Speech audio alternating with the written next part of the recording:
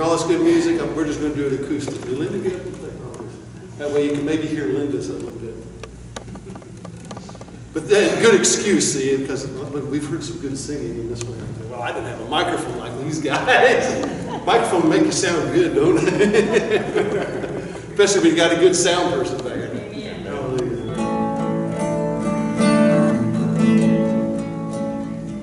always try to hear from the Holy Spirit, and I always try to come with an empty mind and not really even plan anything, and maybe just start doing something. Sometimes you know, when you don't hear from the Holy Spirit, it's nice to have a wife that hears from the Holy Spirit. Amen. And she said, blood songs. We need blood songs. So I wrote a blood song, and it goes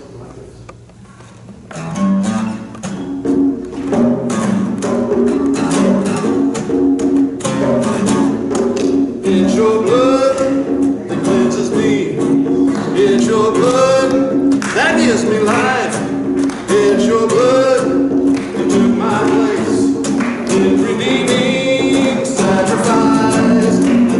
Thank you for the blood. I thank you for the blood of Calvary. Well, I thank you for the blood. I thank you for the blood that sets me free. It's your blood that my soul the blood that makes me whole.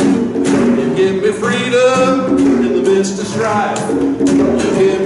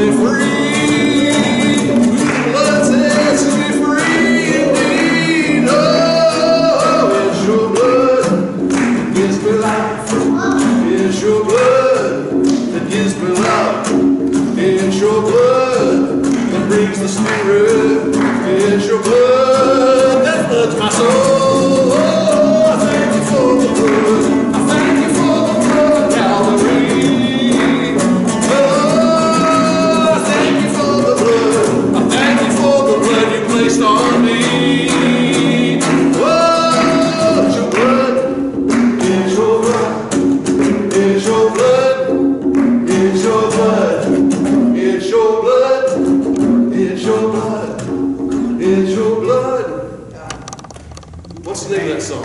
Lord! Lord, Hallelujah.